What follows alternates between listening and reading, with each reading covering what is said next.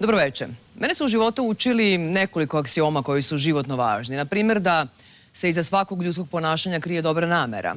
Učili su me također da sve što može da uradi jedna osoba na planeti, mogu da urade sve, ako im je to važno. Međutim, ovo što večerašnji gost u emisiji Život priča može da uradi, ja ne bih mogla ni za 15 života. Gledate Život priča. Jovan Stević ima 16 godina i količnik inteligencije između 140 i 150, što znači da ima potencijal genija. Prvo je naučio da broji, pa da izgovara reči. Živi sa majkom Snežanom koja je na Kosovu bila učesnik rata. Za 16 godina Jovan se sa majkom selio 21 put. Putucali su se po izbegličkim domovima, tuđim stanovima. Sa ocem koji je vojno lice, nema kontakt. U osnovnoj školi nije imao knjige, ali zbog neverovatne sposobnosti pamćenja nisu mu ni trebale, pa je osnovnu školu završio kao Vukovac. Njegov svet su brojevi.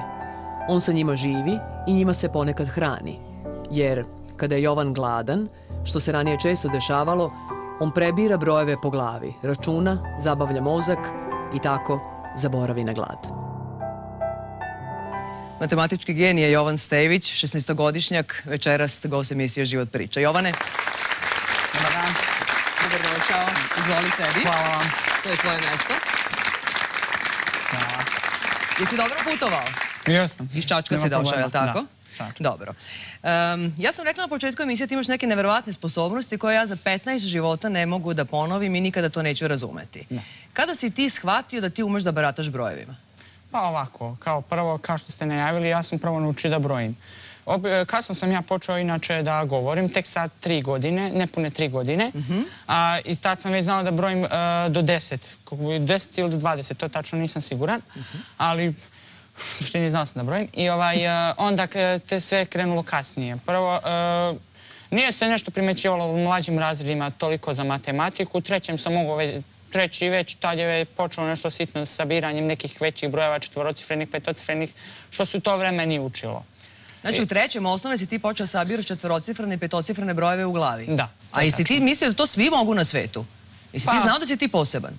Pa ne, ja, jednostavno, ja sam takav, ja sam mislio da to svi ljudi mogu na svetu da urade. Odmah ti kažem ne mogu. Dobro, a kad si shvatio da si poseban, kako onda? Pa, ja, ja i dan danas ne shvatam sebe nešto pretarano posebnim, jer sam ja, ja sam, jer sam ja jedin od ovih 7 milijardi, 7 milijardi i 300 miliona ljudi na ovome svetu. I svako, i svako ima svoj talent i svako je poseban na svoj način. Pa to si lepo rekao, s tim što ja sam na početku rekla da to, to što ti umeš ja ne bi stvarno nikako mogla. Evo, na primjer, da probamo ovako. Ja da ti kažem kada sam ja rođena, Naravno, a ti mi da mi kažeš koji je to bio dan. Naravno. E, dobro, ja sam rođena, ne- neću slagati, reći ću stvarno. Ja, ja sam rođena 7. maja 1970. godine. 7. maja 1970. godine. Da. Koji je to dan? 72. je bila nedelja. Pa kako sad znaš da je 72. bila nedelja? Evo ovako, zato što je 27. april 2000. je bio četvrtak, također 4. maj. 5. maj 2000. je bio, petak, 6. maj subota, 7. maj nedelja.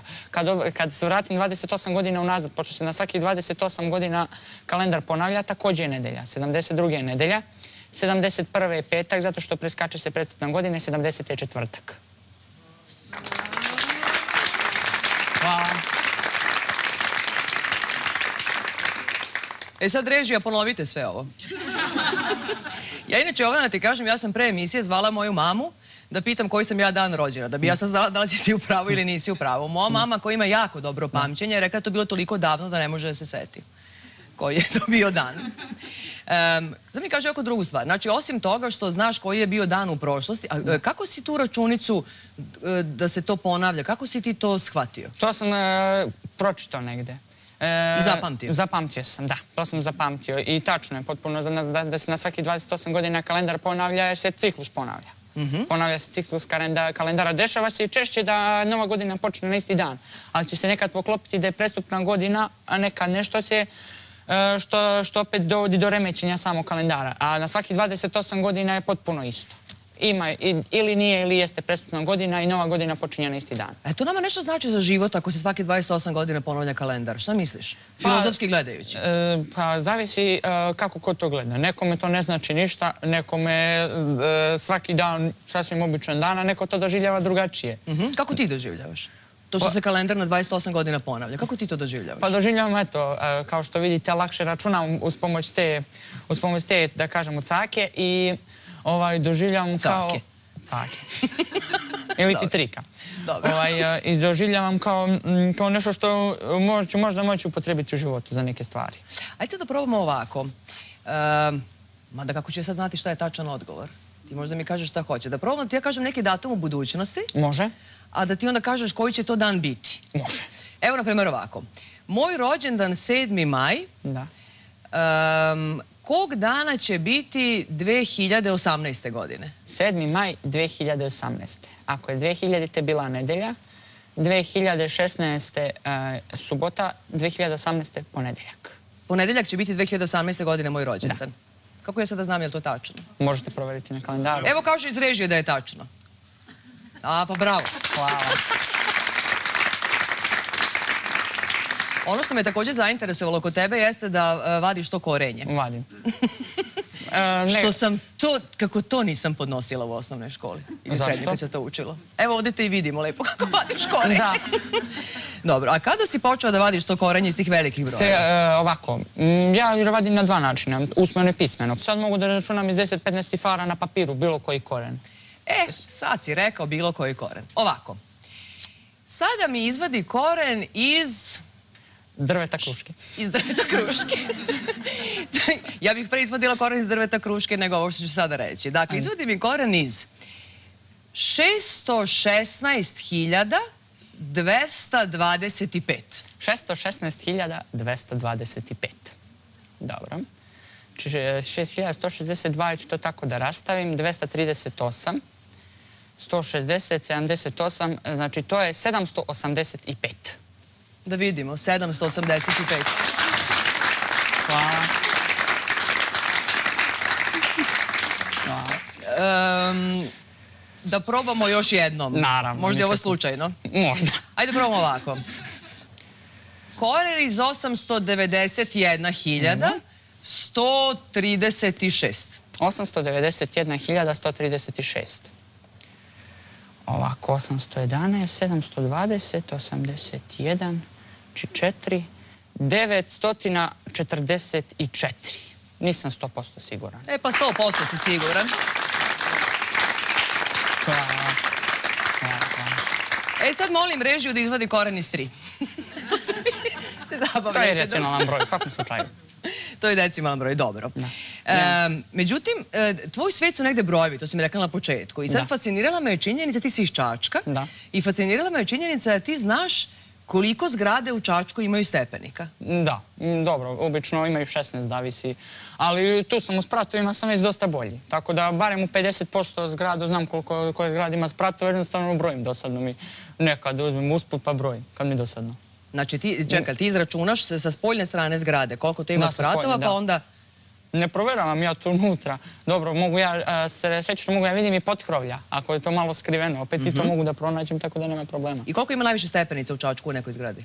Pa, ovako, 16 puta 15, znači to je 240. 240 stepenika, koja je to zgrada u Čačku? A, mislim da je ulica Kneza Miloša 53, soliter sa 15 spratova. A ko je svoje okoline primetio da se ti tako igraš tim brojevima? Ko je to prvi primetio? Ti si mislio, ti si rekao da ti si mislio da to svi mogu. Ma, smo kao primetili razredne iz osnovne škole i, profes- i nastavnica matematike. Mi smo bili u Čačku i posjetili smo tvoju školu. Da. I razgovarali smo sa Jovanovom razrednom i sa profesoricom matematike. Evo da čujete šta su one rekle o Jovanu. Odeljenje ga je lepo prihvatilo, u početku je bilo malih problema, međutim, te nesuglasice su savladene, tako da se Jovan lepo slaže i sa drugarima u odeljenju, a i sa drugarima uopšte iz škole, posebno sa drugaricama. Žao mi je što u javnosti je poznat kao neko ko uspešno vadi korenje, tako deca kažu, a on je uspešan iz svih predmeta, tako da njegova perspektiva, šta god da odluči da studira, mislim da je odlična perspektiva.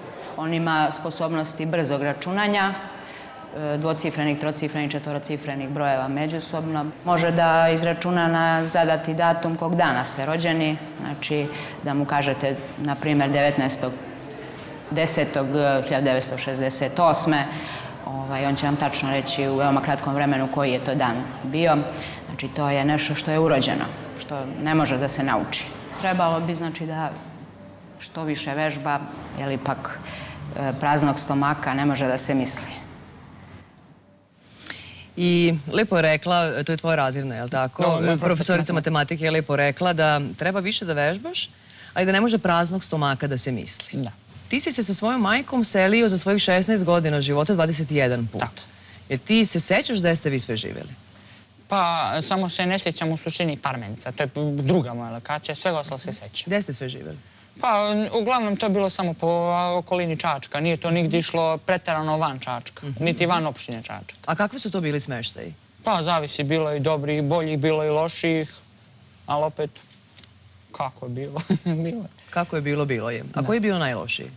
Pa, u Ciglarskoj je bio najlošiji po meni, zato što ovaj, tu je bilo i puno insekata, bila je pretrane vlage, zato što su tu, tu da bile poplave 2014. godine u maju mesecu, pa je to košlo. I, i kanalizacija je ovaj, uh, kanalizacija je bila uh, Se poplavljena, da, izlivala se više puta i to s tim smo imali problema velikih, jednostavno morali smo što pre da odemo odatle. Samo sa majkom živiš, je li Da, tako? samo sa majkom. Ti se oca sećaš? Ne. Posljednji put sam ga vidio kad sam bio mali, ali toga se ne sjećam. To mi mama pričala. Mhm, Dobro. E, posle osnovne škole e, ti si hteo da upišeš vojnu školu. Da. Zašto? Pa jednostavno, kako da vam objasnim, Uh, želeo sam sebi siguran život, niti da majka nešto pretjerano ne misli o tome, da jednostavno moja majka bude srećna, da jednostavno ne, da ne ima brigu manje s neke strane, ali opet nekako to nije, to nije baš moglo, to baš i nije uspelo. I si mislio da u tom momentu da vojna škola praktično te obuče i nahrani? Da, Da. u vojnoj školi bi imao Da, pa i to je uniformu tačno u suštini. Mhm, to je tačno u suštini. Da, dobro, uniforma ni- ne bismo još imali do vojne akademije, ali opet. Da. I hteo si da se rasteretiš majku. da, s jedne strane. A kako ste vi živjeli ti mama kad ti si hteo da rasteretiš? Kako je izgledao taj život? Pa kako da vam objasnim, nekad gladan, nekad, nekad sit i tako. Kako to, Jovane, mi kažeš? Da. Kako mi to kažeš nekad gladan, nekad sit? Pa kad mami stigne alimentaciju, opet kupim nešto da jedemo, opet e, imamo jedno deset dana, posle pomalo nešto hleba štete, suhomesnato. Sad to jedva i jedem. Stvarno je teško jer sam to stvarno dosta puta jeo, mislim, jednostavno organizam bukvalno stekne imunitet na to, ne može više da izdrži. Kada pogledaš svoj život 16 godina unazad, Da. jesi li ti više bio gladan ili više sit? Eh, Pa možda jedno 70-30, to je moje. 70% gladan, 30% sit. 70% gladan, 30% sit. Da. Kako živi čovek gladan? Kako dete živi gladno? Kakav je to osjećaj? Šta razmišljaš onda? Pa, osim što razmišljam o matematici, razmišljam kako da pomognem sa, sa- svemu tome da, da, da se to smanji na, minima, na minimum. A, jednostavno, živjeti glavno je slično kao je živjeti sit, samo što ti bukvalno organizam radi manje, ne radi na 100% snage, već na možda jedno 60-70, a i to pada sa povećanjem, povećanjem stepena gladi. Rekao si mi da kada si bio gladan da si se onda zabavljao brojevima. Da. Šta to znači? Da ti- sam matematiku i za takmičenje za to vreme. Uh, voleo sam da se igram, uh, tražio sam neke cake kako bih lakše računao. Uvijek sam voleo to da radim. I dan danas to ponekad kad mi dosadno uzmem pa porožvrljam. Prožvrljaš. Da, prožvrljam brojeve. Što brzo pišem brojeve. Ti si se onda prebacio u stvari U u ekonomsku. školu. 23. oktobar 2015. godine, na četvrtom času. Ti se prebacio u ekonomsku školu, tako? Tako. Ti kao pamtiš sve te datume u životu. Ne baš sve, ali pamtim većinu. Većinu datuma, jel? E, dobro, 23. oktobra 2015. na četvrtom To je času. bio petak. To je bio petak. Znam da je bio pre toga vikend, tako da... Si se prebacio u ekonomsku školu. Kako su te drugari dočekali u toj ekonomskoj školi? Pa, ono, ne mogu da kažem nešto pretarano prijatno, ali mu kažem ni neprijatno da su toliko bili uh, namršteni. Ok su me prihvatili, nije loše u suštini. A na- gra- objasni mi to malo preciznije. Šta kažeš, šta znači to ne, nije baš preterano prijatno? Pa jednostavno imalo je drugara koji su, nisu voljeli, koji su me poznavali od ranije, kojim, kojima nije prijala moja pažnja. Nije im prilala tvoja pažnja. Da, niti moje prisustvo. Mhm. Šta misliš zašto se to dešava? Pa to je bilo problem iz osnovne, te vuklo problem iz osnovne škole. Kada A sam imao tome? problema i sa higijenom, nismo imali godinama vode gore, niti što, ovaj, niti što sam imao probleme i sa stvarima nismo imali gdje da ih operemo. Vodu smo za piće smo uzimali iz bunara obližnjeg eh, i jednostavno to je bilo malo i otežano, falilo je školskog pribora. Srećom ne, uspjelo je to nekako se zakrpi uz pomoć drugih ljudi. Ja se zahvaljujem u svakom slučaju Znači ti si doživeo negdje u osnovnoj školi da... u starim razredima. u Krajem starim- mlađih i starim razredima. Da, da nemate, da nema vode, Nema. tu gdje ste živjeli, ne možeš da održavaš higijenu, da nemaš šta da zbog- Pa imao sam, ali problem bilo što teško smo prali stvari. Da li te zbog toga okolina, jesu te zbog toga deca izrazila Najviše odbacivala? da. To je, to je naj, najveći razlog, ali dobro, imao sam ja naravno i mane koje su možda bile jedan od razloga za odbacivanje. Ali opet najviše, najviše je bilo fizičke prirode. Mhm. Jesu te zlostavljala deca? Pa, kako da kažem, malo. Jako malo. U odnosu kakve dece ima, žao mi naravno, ne, ja ne želim nikom, niko da bude zlostavljen jer to niko ne zaslužuje, a opet ne minimalno je to bilo. A kako si ti rastao sa tim? Kako si ti živeo se sa tim siromaštvom? Kako je to na Ko tebe da nije ni bilo. Ko da ga nije bilo, ja sam živio svoj život. E, Doduše, ja sam bio pesimističan i uvijek sam pričao mami, ovo nije se nikad neće desiti, ovo nikad neće biti. Sa ovim se nikad neću rukovoditi. I uglavnom ispostavi se suprotno. Moja mama uvijek u pravu i sve, sve više i više dokaza za to ima. Znači ti si, jesi ti ovako bio raspoložen i kad si bio gladan? Pa u suštini da. A odakle crpiš tu snagu? Ne znam. I sala.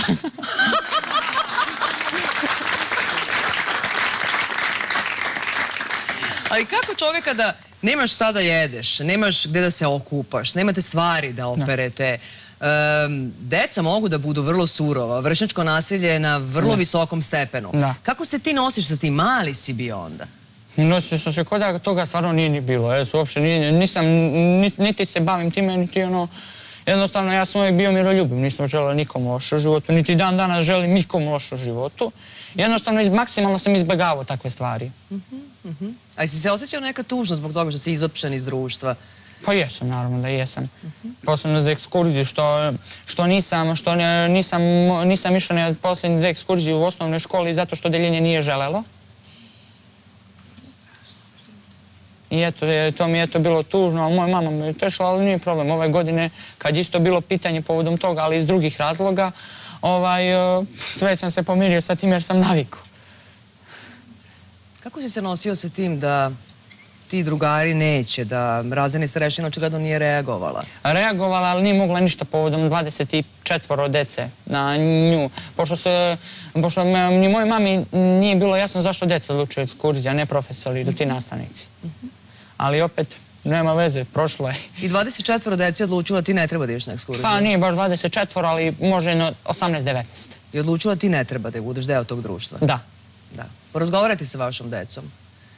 Em, možda već za vreme ove emisije. Mi smo u tvojoj školi pitali tvoje drugare, Nikolu, Andriju i Ivanu. Da. E, to je e, razred drugi osam, je li tako? Drugo osam. Drugo osam, dobro. Ekonomska škola u Čačku. I evo da čujete šta kažu Jovanovi školski drugovi.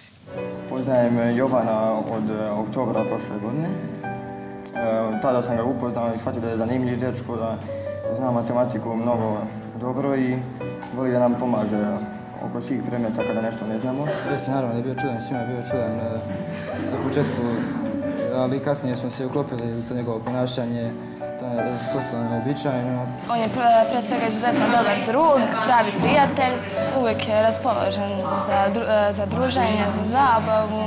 Dobar je drug, on e, uvijek hoće pomogne kad to tražimo od njega, zanimljiv je, Je ti drago kad čuješ sada? Da. Nije mi žao, nego malo smiješno.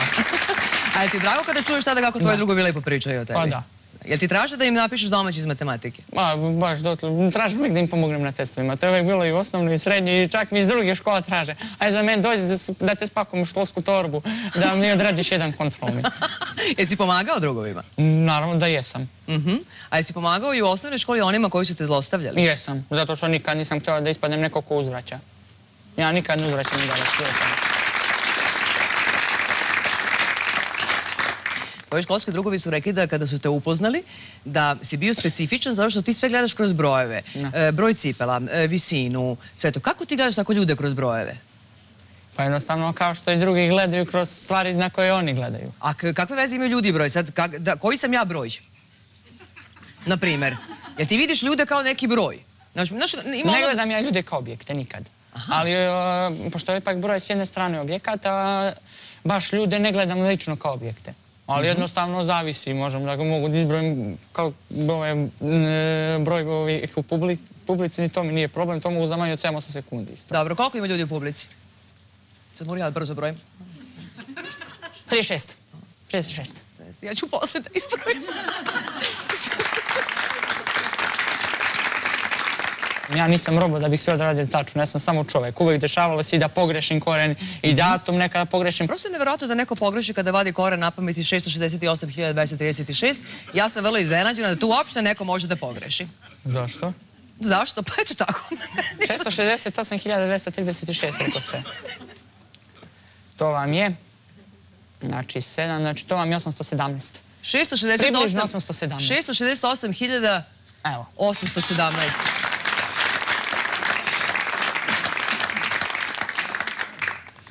Em, kada su tvoji drugari iz razreda shvatili da si ti e, lošijeg materijalnog stanja, Da. e, što kako si mi rekao, tebe nešto nije pretjerano pogađalo jer si ti u tim situacijama nekako Da. plivao e, i bio dobro raspoložen, onda su krenuli da ti skupljaju neku pomoć. Jeste, da, u decembru 2015. se prvo odeljenje angažovalo za pomoć, pa su kasnije pa su kasnije drugo odeljenja počela da skupljaju pomoć za hranu i za, i za stvari i za, i za druge materijalne potrepštine, pa se kasnije to pročulo i na druge škole. E, I onda je sve to krenulo. I kako si se osjećao kada se to tvoje društvo solidarisalo na neki način s tobom i kad su krenuli da pomažeš? Osjećao sam se vrlo prijatno, s jedne strane vrlo prijatno, s druge strane i vrlo neprijatno, a i naravno i bio sam zahvalan, jer s jedne strane čak i nisam očekivao da će, da će po- pomoći u tolikoj meri. Ali možda mi objasniš kako si se osjećao isto vrijeme i prijatno i neprijatno. Šta je bilo neprijatno? Pa jednostavno, e, neprijatno je to, pomažu ljudi i opet u preteranom sam centru pažnje. Evo i sada, na primjer. Tebi je sad neprijatno? Malkice moja. Sa mnom. Ne, nije, nemojte tako. Ne voliš da si u centru pažnje? Pa, e, pa to možda malo pogrešno. Volim da sam u centru pažnje, ali ipak postoji neka granica.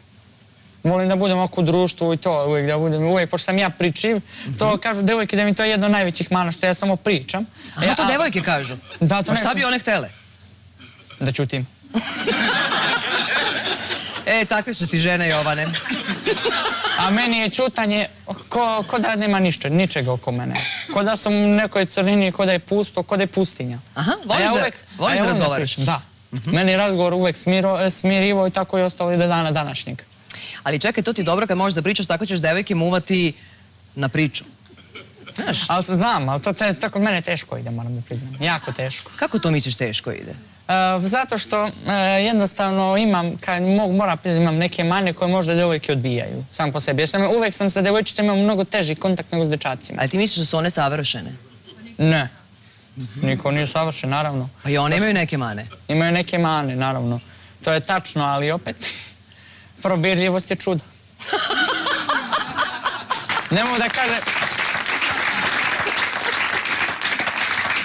Ne mogu da kažem ni da ja nisam probirljiv, ali opet... Dobro, sad misliš da će ti televizijska popularnost, ti sad stvarno možda postaneš popularan posle ove emisije, ali misliš da televizijska popularnost može da ti pomogne kod devojaka? Pa, ne znam, ako do sad nije pomoglo, možda pomogne, ne mogu ja ništa. Znači, misliš da televizijska popularnost može da donese neko idealnu, idealnog partnera, partnerku neku? Da, ali uvek, sam, uvek se tu pazim ja, s neke strane. Zato što ovaj, e, ima, ima dosta devojaka, neću ja da uvredim nijednu devojku, ni, ni- uopšte nije bio cilj, koje jednostavno vole popularnost i vole korist, a ja to, na primjer, ne volim. Ja želim da me devojka voli zato što sam takav kakav jesam, a ne zbog drugih razloga koji nemaju veze sa mnom. Ja ne bih da ti rušim tvoje snove Ne, o tome da, Meni niko ne može da sruši da televizijska popularnost može da donese idealno... Ne, to je neka druga Meni tema. neko da, su- da pokuša da sruši snove je ko da uđe u sobu bez vrata i bez prozora, a ja gradim kul od karata. Nema nigdje uslova da iko ni- išta uradi. Bravo, bravo. Mi smo razgovarali u Čačku i sa tvojom majkom, Da. sa kojom ti živiš ceo svoj život. I evo da čujemo šta je tvoja majka rekla. Eto, nisam čuo.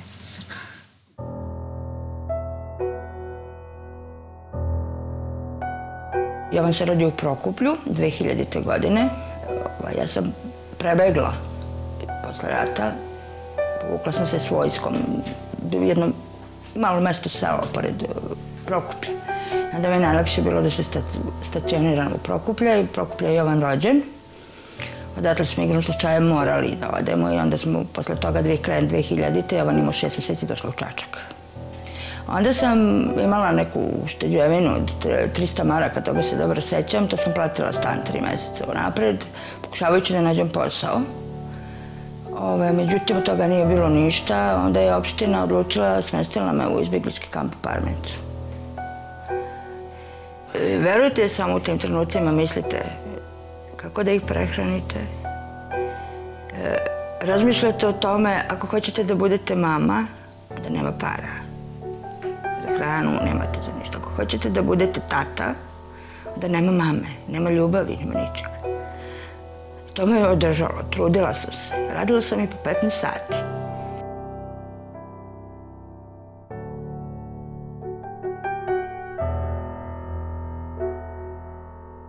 Iz starta se on odvajao, ovaj, kažem, a baš ono da sam primetila, znate kad sam najviše bila sigurna?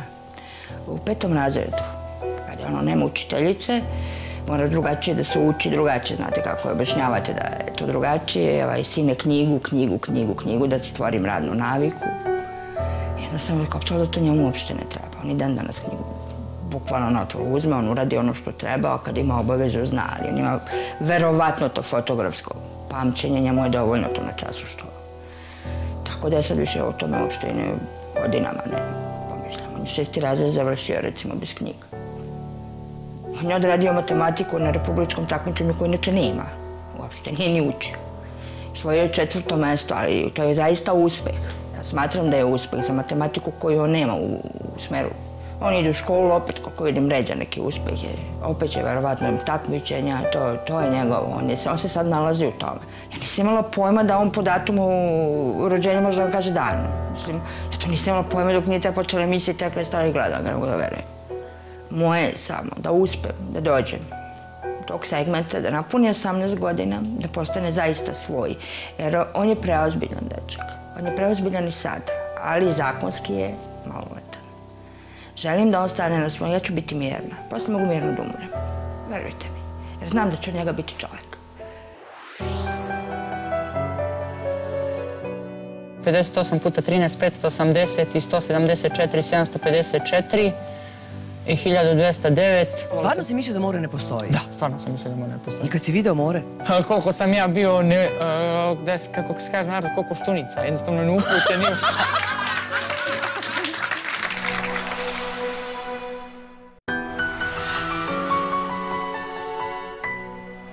kada je neko žrtva nasilja, kao što si ti bio, i kada ima u sebi odluku da ne uzvrati, nego čak i da da dobrim, da, vrati dobrim. Je to tebe neko naučio ili ti to negde osjećaš u sebi? Osjećam to. Kao što postoji izreka, ko tebe kamenom, ti njega hlebom. Ja, tu izreku stalno koristim i u rečima, i u, i u samo izreci, i u delima. Jednostavno, ja ja se vodim onom polemikom, opet ne želim nikog da uredim. Ja neću nikoga da kažem, koliko je god neko mene kaznio, to će sam Bog da kazni. Misliš da se Makar to bilo za 50 godina. Misliš da se dobro dobrim vraća? Da. Mhm. Jer pravda je spora, ali dostižna. Mhm. Samo da se nekako još ubrza ta pravda. Nema potreba. U osnovnoj školi nisi imao knjige? Da, u šestom razredu posebno. Imao sam u petne, sedmi tu delimično, pet, sedmi sam imao delimično knjige, a u šestom stvarno nisam imao. Mhm.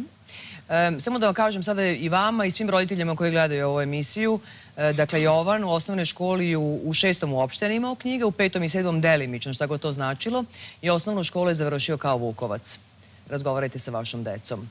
Kako si završio osnovnu školu kao Vukovac, a nemaš knjige? Pa, kao što je rekla moja majka, jednostavno imam to, pamtim, obično prosjek po danu učenja možda je par minuta kad mi smo računali prosjek. Jednostavno to u slučaju ako znam da nešto ne znam. I uvijek znam šta ne znam. Uvijek kad vidim kad nisam siguran, uzmem prelistam.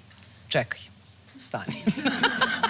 Kako par minuta po prosjek za učenje? Kako par Zato što ja ne učim bukvalno šest dana i jedan dan uzmem 15-20 minuta. I kad se 15, 15 podijeli sa 7, to se dobije 2,14. 15 minuta, šta možeš da naučiš? Dva, tri lista, pa dve, tri strane najmanje to cele. Najmanje. I prvi put vidiš to štivo? Pa da, dobijem i lekciju, nije to da prvi put vidim. Ja to iskoristim u školi vreme, naravno.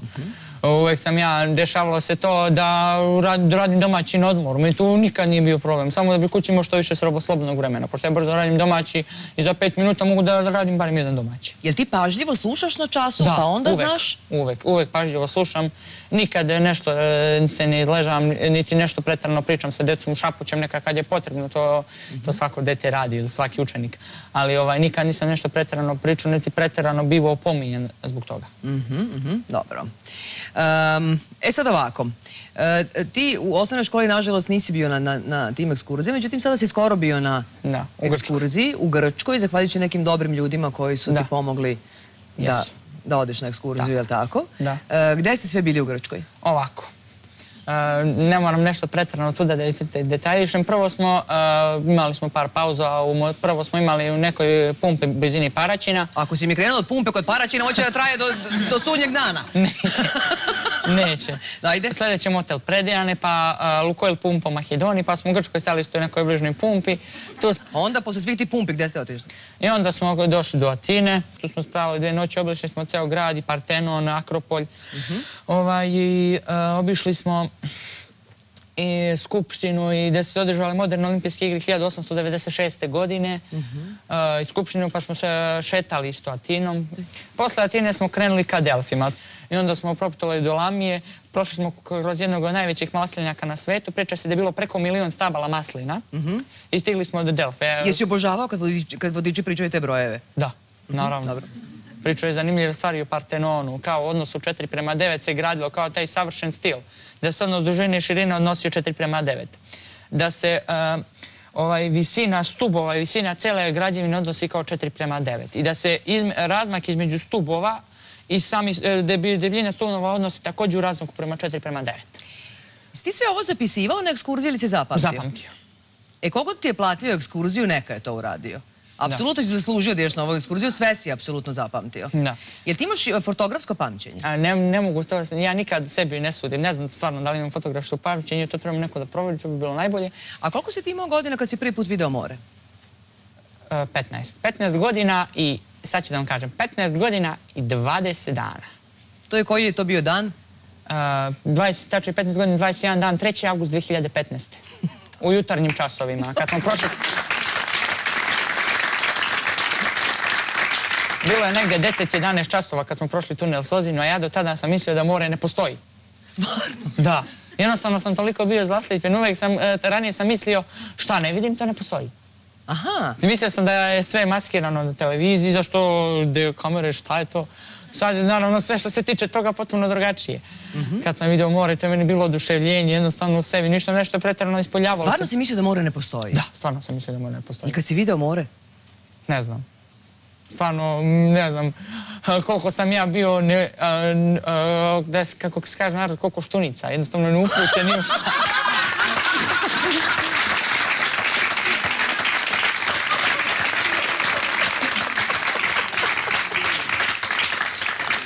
Čekaj, ali ti nisi verovao, ti... ti nisi verovao da postoji more, Da. ali nisi verovao ni da postoje poznate ličnosti. Da, tačno. Pa kako nisi verovao da postoje... Jesam ja poznata ličnost? S jedne strane da. Da, s- svih strana da. Ne, s jedne. Srednje visoko. A čekaj, a kako, kako nisi verovao da postoje... e, Šta te je uverilo da postoje poznate ličnosti? Šta je tebe to uverilo? Pa, ne znam, uh, uverilo me je to prvo snimanje kad sam imao jednostavno da, ću ja biti neko ko, za koga će se uopšte čuti. Jednostavno opet i vidio, vidio sam skoro jednu poznatu ličnost, političku, Koju? M, uh, Ve- Velimira Ilića. I to bukvalno prošlo pored nas. Čekaj, sad te pitam ovako. e, ako sam ja srednje ka visokom poznata, koliko je Velja poznat? O, zbog njegove rakije stvarno ne.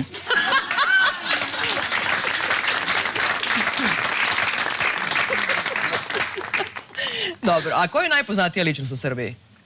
Pa, pre par dana sam vidio neko istraživanje, uh, kažu da je da, Nikola Tesla najpoznatiji, pa Novak Đoković. U ovo vreme, u ovo period, naravno da je Novak Đoković, zato što ovaj, osvajaju razne turnire, uh, pomagao je mnogim ljudima koji su nevolji, jednostavno ponašao se u skladu sa tim kako treba se ponaša. Jednostavno s te strane, če u posljednje vrijeme ga i po, po, olimpijskih igara osuđuju što je meni apsolutno nepotrebno. Jednostavno, traži, samo tražiti ljudima povod za, za vređanje. To je po meni jako ružno i nepristojno. Jednostavno, ovaj, sam htio da kažem, desi se greška. Ne treba tražiti ljudima greške. Naravno da se to uvek desi. Jel misliš da je većina ljudi da... Jel misliš da je većina ljudi orijentisana na negativno, a ne na pozitivno? Ja ne bih da uvredim, ali mislim da da, po meni. To je moje lično mišljenje. I ne valja to? Naravno da ne valja. Da, odražala nam je Jovana 16 godina i lekciju jednu sada. Da. E, sad kad si rekao da Novak Đoković se ponaša u skladu sa onim kako treba se ponaša, pomagao mnogim ljudima, e, mi smo razgovarali sa Anđelom. Anđela je e, članica učeničkog parlamenta ekonomske škole u Čačku, jer su se ta dobra deca u Čačku organizovali da pomognu Jovanu. Pa mi smo u prvoj godini počeli da sakupljamo novac. Dogovorili smo se da donosi koliko može ili da donosi e, predmete, na primjer u veze lične higijene, odeće, pribora za školu. I onda svako donosi oko dežurnog učenika ko je koliko mogao i tako smo se trudili da pomognemo Jovanu i davali smo mu stalno koliko je ko donosio, davali smo njemu. Onda se pročulo u drugim školama i onda su se svi zainteresovali da mu pomognu. Oko nove godine je došla televizija i onda su i oni čuli i onda se to proširilo i u drugim gradovima i Jovanu su doneli novčana sredstva i potrebne predmete za bolje život. E, tako je lepo Anđela govorila za našu emisiju, za život priča. Kaži mi što radiš u slobodno vreme? Obično sam na kompjuteru, mhm. e, igram igrice. Od imaš kompjuter? Kompjuter imam još od januara 2010. godine. Mhm, dobro. Ne znam tačno koji to je bio dan, ne mogu se zapamiti. Prošlo je blizu sedam godina. Ovaj, toga, jedno, e, eto, to je moj taj stari kompjuter sa starim monitorom. I mhm. igricu koju sam počeo da igram 15. E, februara 2013. godine, oko 18.50 je bilo. I koji dan danas formalno igram, ne stižem, jednostavno počela malo da zasađuje, jer nemam vremena, baš nešto Znači, tvoja buduća devojka neće nikad imati problem sa tim da zaboraviš slučajno godišnjicu, da slučajno zaboraviš njen rođendan, Ne, ne, ne, niti 8. mart, niti 14. februar, nema problema sa tim. I sve ćeš to da zapamtiš. Naravno. Da, samo treba da vodiš računa, znaš, e, žene, žene vole da pamtiš njihove rođendane, ali ne vole da se zna koliko imaju godina. Znam. To je malo Meni je uvijek bilo neprijatno kad pitam neko devojku koje se godište, ali uvijek me to interes... Čuo sam tu priču da se one osjećaju kao automobil, da pita koje je godište.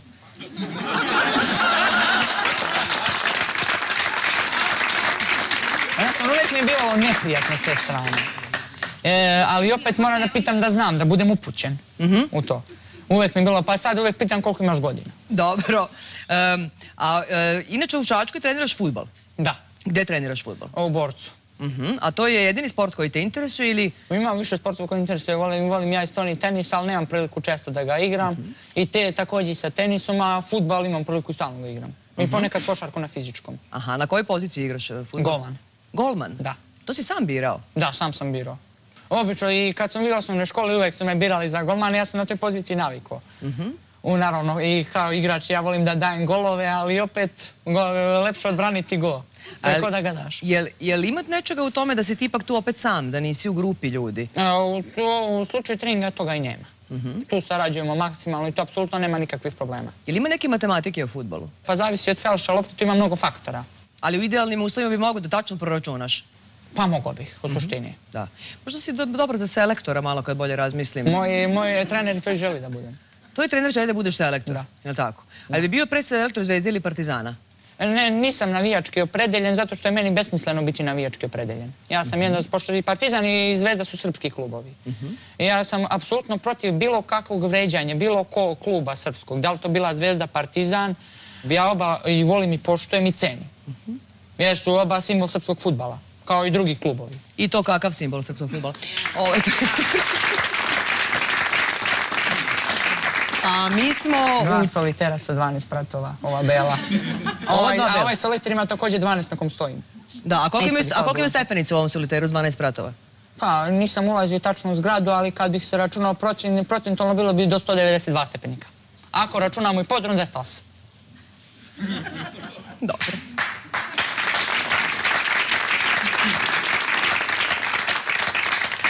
A mi smo pitali i tvog trenera Da. futbalskog, um, gospodina Aleksandra Ivkovića, koji je trener futbolskog kluba Borac iz Čačka. Kakav je Jovan na terenu? Ja sam sjećan što imam jedan tako momka, tako dečaka, koji je primjer svoj djeci. On je dečko, znači, vaspitan, dobar, radan. Da li će u futbalskom sportu dostići neke domete, to je još što više sada rano, ali ja moram da kažem, on će biti jedan veliki, veliki čovek. Futbalski sport je pun surovosti.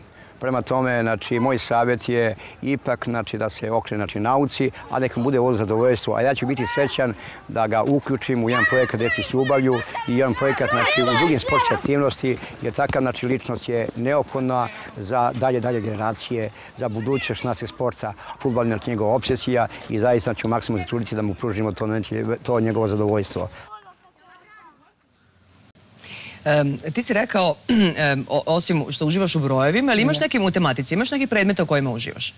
Pa uživam u engleskom jeziku, ja ga jako, stvarno, jako, jako dobro govorim. Ja s njim uopšte nemam problema. Sigurno, dobro sam ga koristio i grčko i bio mi preko potreban i zanimljivo mi bilo da pričam na engleskom. Ovaj, e, šta još mogu da kažem? Ja, Hemija? Hemija mi isto odlično išla u osnovnoj školi. Sada šteta što nemam hemiju, ali opet se razumem dobro. Što me neko pita što se tiče gradiva osnovne škole, to uglavnom mogu da mu odgovorim. Da. I tu sam bio najbliži republičkom takmičenju u osnovnoj školi. Ako očekuješ da ću te pitati nešto iz hemije, neću te pitati ništa iz hemije, pošto nemamo vremena da ja pitam nešto iz hemije. A rekao si inače da uživaš u statistici. Možeš molim da mi objasniš kako se uživa u statistici? Pa jednostavno uživam u tim procentualnim, e, da računam procente, to, i to mogu da izračunam, na primjer, x procenata od nekog broja, na primjer, trocifrenog, i to mogu, na primjer, da računam. Nije mi to neki problem. Koliko je 6 procenata od 482? 6 procenata, znači 4, mhm, 82 puta 6, 492 i 24, znači 2, 2, e, 28,92. 6 procenata od 480, 28,92 na drugu decimalu. Hm? Ajde probaj četvorocifreni brojeva ovako. 13% Dobro. od 5893. 13% od 5893. Znači 58, znači ovo je 58 puta 13, 580 i 174, 754 i 1209, e, 796, to je, zare- to je plus 2, znači ovamo, znači zarez 79, 176,79, znači zarez 09 je decimala, a 589 i 176, znači to je 765. 766. Bravo. Da je. Ali si prvo izračunao decimalu. Da. 30 i 79. A zaboravio sam da dodam jedan. Da, tačno. To je ta greška. Au, Zašto pa stra... 109? Pa kako ćemo sad? Strašna greška, strašna greška. Sad ne, Strašna sad greška, svega nerviraš? 0,13 procenata. greška, jel? Da. A jesi ti sad nerviraš? Pa ne, zato što sam ja, kao što sam rekao, ja, ja, sebe, ne, ne, ja sebe ne poređujem sa robotom. Ja sam samo čovjek. I, i uvijek imam pravo da pogrešim, koliko me god ljudi kritikovali za to. Mhm, bravo, to je lepo gledanje na stvari. E, pitali smo i tvog direktora škole, e, gospodina Vladana Nicovića, kako se Jovan uklopio u ekonomsku čačku.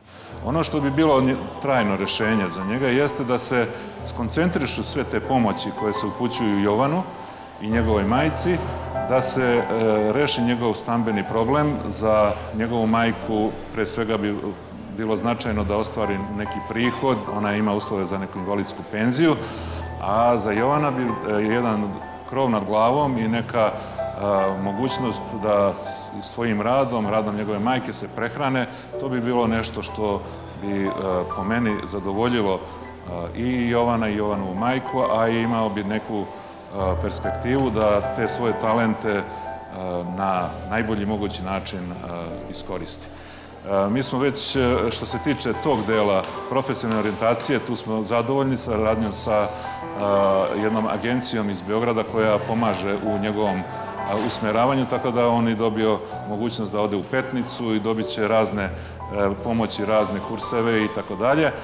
Ali e, ovaj drugi deo nam je e, sad urgentan i želimo da poručimo da svi ljudi koji mogu da pomognu to urade, ali naš zadatak jeste zajednički vas iz medija i naš ovdje u školi da taj novac se usmjeri upravo u tom pravcu u rješavanju tog e, sistemskog, sistemski da rešimo taj problem i da Jovana obezbedimo kao i njegovu majku. Um, osim toga što, što si nam pokazao taj tvoj nevjerojatni talent sa brojevima, uh, ono što mene zainteresovalo kod tebe je da ti pišeš pesme.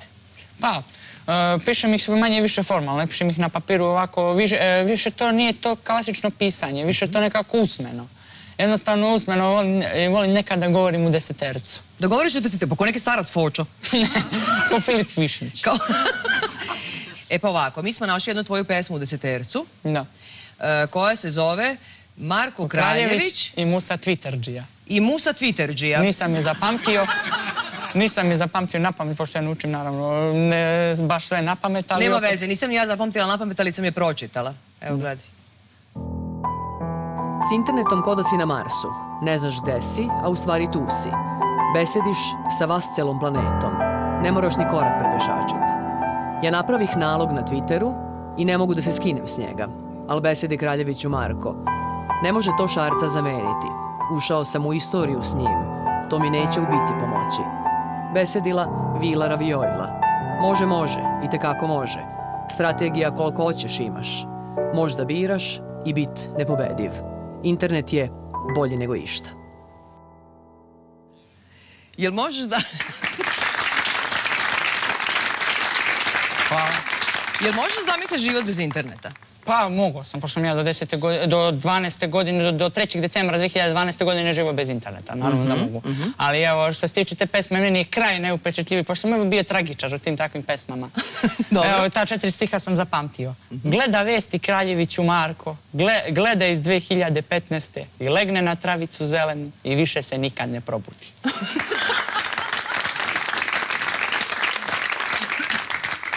A šta bi ti žela da studiraš? Pa, e, to nemamo trenutno orijentaciju, jednostavno ne razmišljam e, u dalekoj budućnosti, jer možda se pojavi neka nova stvar koja će mi se jako dopasti. Ne mora to biti vezano direktno za matematiku, ali može biti vezano ili za statistiku ili nešto drugo. Jer ja mislim da ću lakše naći posao u onome što volim nego što će mi biti perspektivno. Će valjda poslodavci primetiti da ima ljubav, da vidi da imam ljubav u tom poslu, da imam jednostavno, e, da jednostavno radim taj posao s ljubavlju i da će me primiti. A, Ja to je lepo razmišljanje. Vrlo lepo razmišljanje. A kaži mi em, od materijalnih stvari. Da. Em, šta želiš od materijalnih stvari? Pa, do skoro je bilo e, situacija, ja sam želeo loptu i bicikl. Loptu sam dobio od svojih drugara za rođendan i bicikl sam također dobio od jednog čovjeka kom- e, i njima sam svima jako zahvalan, kao i drugima što su uopšte pomogli u svemu ovome. Jednostavno, nema ničega materijalnog što bi se sada setio. Jednostavno, potpuno sam, kako da kažem, ne mogu kažem da, da, je, da sam 100% zadovoljna, možda 99%. Sa loptom i biciklom?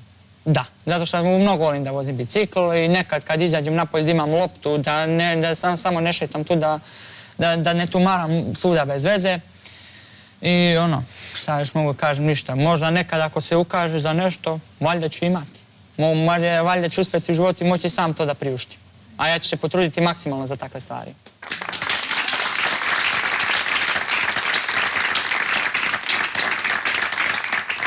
Je treba da vam opet kažem da porazgovarate sa svojom decom. Jovan želi loptu i bicikl, dobio je loptu i bicikl i se više ništa materijalno ne želi. A koja ti je sada, dobro sad imamo loptu, i bo- loptu i bicikl imaš i tu si materijalno zadovoljan, ali imaš neku ovako, nešto što nije materijalno, neku veliku želju u životu. Volio bi da učestvuješ u slagalici. Da. Zato što jednostavno u ovom, makar izgubio u prvoj partiji, nema veze. Ja želim da se oprobam. Prijavit ću se ja više puta, neće to biti prvi put. A jesi se ti već prijavljivao za slagalicu? Jesam. I?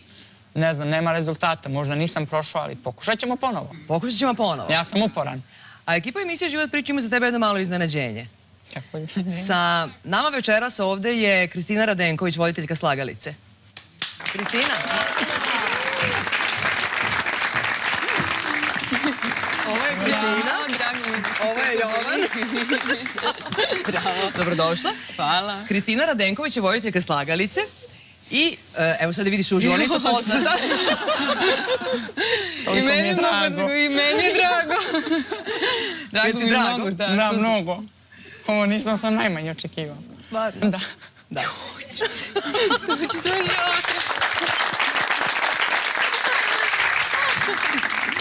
Dobro, sad kad dođe u, u TV slagalicu, onda se neće veliko tresti. Pa trebalo bi da ne. Možda sam već odigrao na stotine partije na svim vrstama slagalice na internetu, tako da s tim nemam problema. I sad si se uvjerili da postoje poznate ličnosti. Pogledaj mene i Kristinu. Sad tako je. Potpuno ste u pravu. E, za kad si ti prijavio za slagalicu? Uh, odmah za 16. rođendan, 13. jula 2016. godine bilo je oko 11.40, kad sam počeo da već popunjavam one formulare. Dobro, ja onda, da onda ja... I tad sam poslao mailove. Morao sam nešto napraviti neke zbrke, dobro se sjećam, ali nadam se da to nije bilo ništa strašno. Kristina, koliko ima prijava za slagalicu inače? Pa ima između 5-10 hiljada svakodnevno, ljudi čekaju mnogo. Mislim da nam je pre par meseci bio jedan gospodin koji je 10 godina čekao da ga pozovemo. Mnogo je teško obraditi toli- toliko prijava, tako da se stvarno izvinjavamo svima. Uh, uredništvo daje sve od sebe i mislim dođu ljudi na kraju, ali neki mnogo čekaju, a neki veoma malo. Nema sad tu uh, nekog, nekog pravila, ali ja sam večeras... uh, Mi nismo zvali Kristinu samo da je ti upoznaš, pošto si inače rekao da upoznavanje poznatih ličnosti tebi to baš i nije nešto. I nije Nisam rekao da nije nešto, ali Pa opet... i nije. Pa i nije nešto. E, nije nešto. Ali Da. Kristina je došla ovde sa razlogom, pošto će ti Kristina reći šta je iznenađenje za E, tebe. Ja sam došla na, večeras ovde Da. u ime Radio Televizije Srbije i uredništva TV Slagalice da ti kažem da ćeš ti učestvovati u jednom od e, narednih ciklusa u ovoj sezoni, tako da će ti se javiti naša produkcija, ti ćeš mi ostaviti svoje podatke. Naravno. Da li da zovemo mamu sad, ne znam, ili tebe. Može ako mene. si ma-. I moći ćeš da pokažeš e, kakav si genije. Da. Biće nam veoma drago da, da, te ugostimo, da se takmičiš. Hvala vam puno. Ma ništa. to je najmanje što možemo. Za mene je najviše, skoro najviše. Jesi uzbuđen sada jako? Mm, kako da nisam?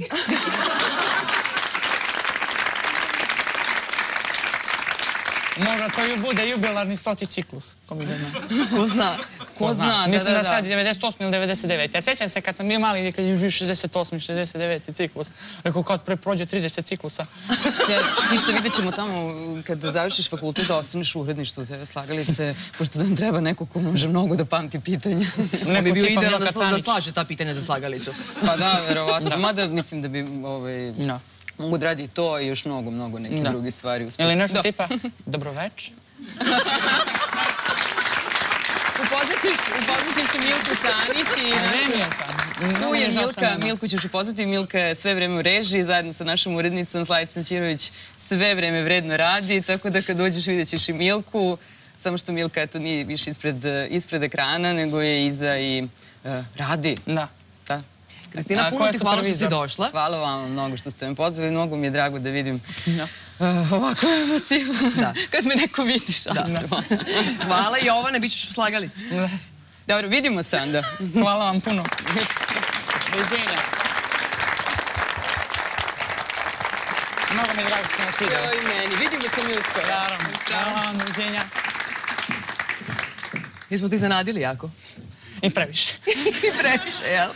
E, previše je da ti se ostvari želja da učestvuješ u slagalici. Pa da, jednostavno to kad se najmanje nadam. Ja sam rekao, verovatno nisam prošao, pomislio sam čim, čim se ovoliko ne javljaju, verovatno nisam prošao kada ono iznenađenje. Kada ono iznenađenje. Da. Nama je jako drago da smo izazvali kod tebe e, ovako lepu reakciju. Sad mi kaži za kraj ovog razgovora, um, jesi razmišljala nekad o tome da svi mi na ovoj planeti imamo neku svoju svrhu? Da.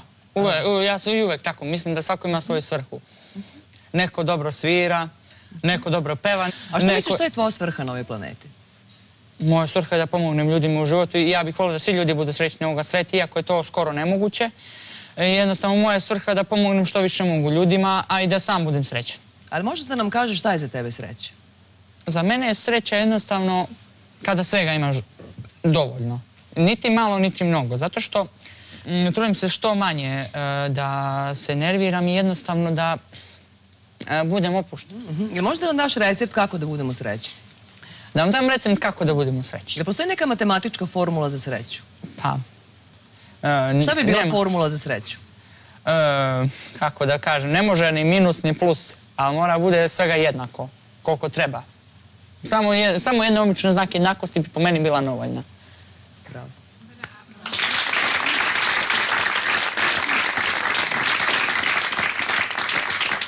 Puno ti hvala što si večeras došao kod mene u emisiju. Nema na čemu. Bolje Meni je jako drago što sam te upoznala. I meni također. Evo ovako, za kraj mi kaži, kako možeš da ideš korak za milijarde? Pa jednostavno skraćujem na manje cifara uvek. Ajde, objasni mi to. Ako ste mi dali sad sedmocifreni, ja ga skratim prvo na petocifreni pa na trocifreni, jer se to samo na decimalu A izvedi korn iz milijarde i jedan. Dobro. Milijardu jedan, znači skratim na 10 miliona, 100 hiljada, hiljadu, 10. Znači to je približno e, 31.600, ali ne mogu tačno da preciziram. Posle dodam te 4 nule od 8 što sam skinuo. I to je to. U jednostavno skroz, ja ću isto sad odmah čim se ovo završi da čupam to korenje iz te milijarde. Hvala ti puno još jednom. Ne, ne, Drago mi sam da, da sam te upoznala, a gledat ću te onda dalje u slagalici. Važi. Hvala.